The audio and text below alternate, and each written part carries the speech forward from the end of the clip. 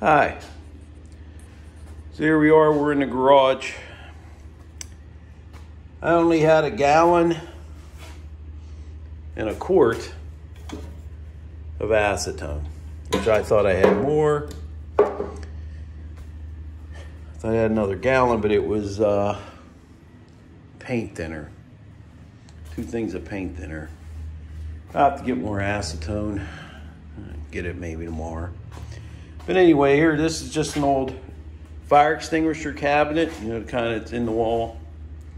You just uh, partition it off, put tin foil in there. That's just a chrome weight to keep every, keep that stock down underneath the acetone.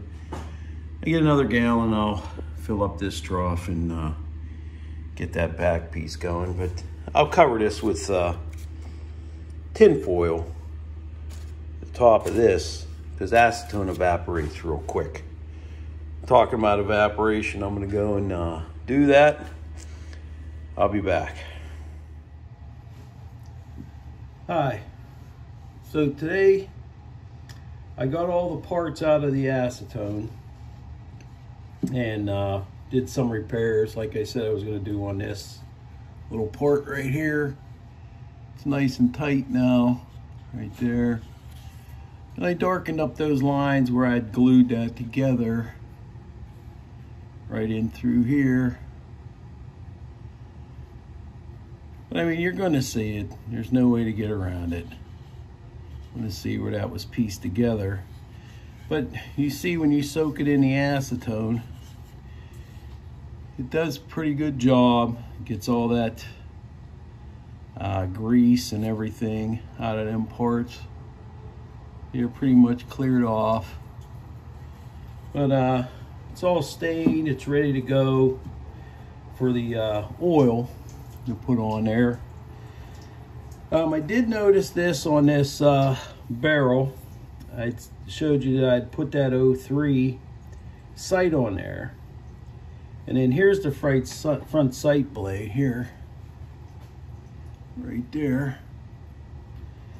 But I was having trouble seeing that on there. Um, but then I realized it's just an 03 sight peep in there. It's too far from where you are to where the sight is for it to be a peep sight. When I was younger and I could see a lot better, I could see that front sight uh, through that. But I have this welding on there. So instead of cutting that off, what I'm going to do is I'm going to uh, either modify this and make it a V because this is a good place for a V type sight or whatever you want to call it to see that front sight. But looking through that hole from that distance back where your eye is to this, when you're older, it's better if you have a V. So that's what I'm going to do with this. I'm going to put the oil on uh, this wood, get it in process, and then I'm going to touch up all the bluing and everything on this. That should be about it for this. I mean, it's uh, it is what it is. The whole idea was just to police it up and get it cleaned up.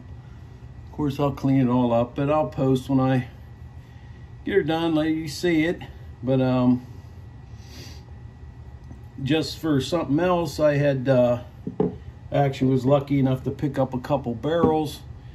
Um, I picked up uh, a 257 Roberts barrel and a 22 Hornet barrel, which I think I'm going to be working on that next. But uh, thanks for watching the video. Well, I thought I'd show you how I put this oil on the stock. Um, everybody does this a little bit differently. Let's get a little bit on my fingers. I already did this little front section already. Um, and you show people doing this. I mean, I really rub this stuff in. Um, You know, guys, they some guys just wipe it on and then they're done.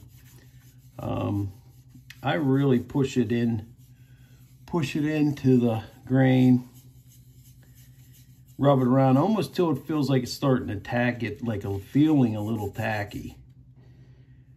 But it seems to give you your best, because uh, you'll see some guys, they need to steel wool in between coats.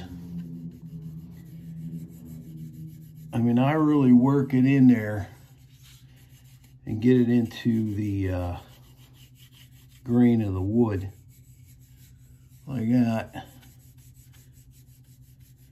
And then when I do set these up to dry, I found out if I keep them in a cool place, um, takes a little longer to set up, but the longer it takes to set up, the more the oil will sink in and uh, flow out.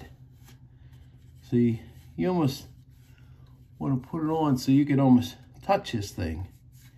Push that oil into that. Because you don't want any runs or anything. But see what I mean by pushing it in into the grain.